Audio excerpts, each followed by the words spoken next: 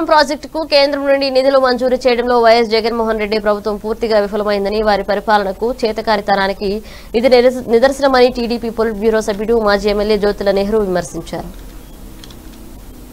దాని మీద ఒక కార్యక్రమాన్ని తీసుకుని ఆ కార్యక్రమం ద్వారా కేంద్ర రాష్ట్ర ప్రభుత్వాలు తీసుకునేటటువంటి నిర్ణయాన్ని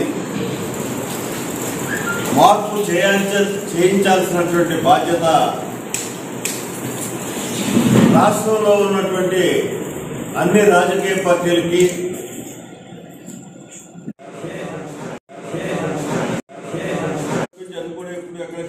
తెలియదు రెండు వేల ఇరవై ఒకటి ఎట్టి పరిస్థితుల్లో మేము ఇస్తామని చెప్పి చెప్పినటువంటి పరిస్థితుల్లో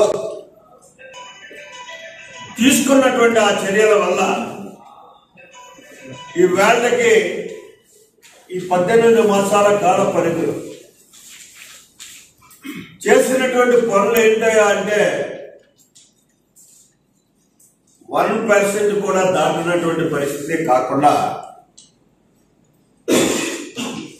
రికార్డ్స్ వాళ్ళు చెప్తున్నటువంటి లెక్కల ప్రకారమే చూసుకుంటే నూట అరవై ఏడు కోట్ల రూపాయలు బిల్లు ఇచ్చినటువంటి ఖర్చు కాంట్రాక్ట్ వ్యవస్థకు చెల్లింపులు చేసినటువంటి పరిస్థితి.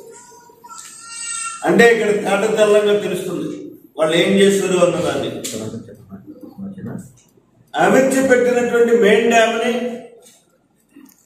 పై పనులు చేయడానికి కూడా వాళ్ళ సామర్థ్యం సరిపోక చెయ్యలేనటువంటి పరిస్థితి ఒక పక్కన ఉంటే ఇవాళ ఈ రాష్ట్ర ప్రభుత్వం యొక్క చాతగాని తనం వల్ల.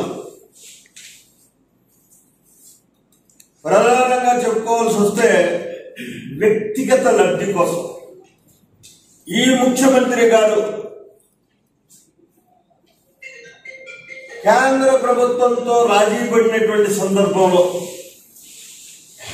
అతి ప్రమాదకరమైనటువంటి నిర్ణయం పోలవరం ప్రాజెక్టులో తీసుకుంటున్నటువంటి సందర్భం కనిపిస్తుంది.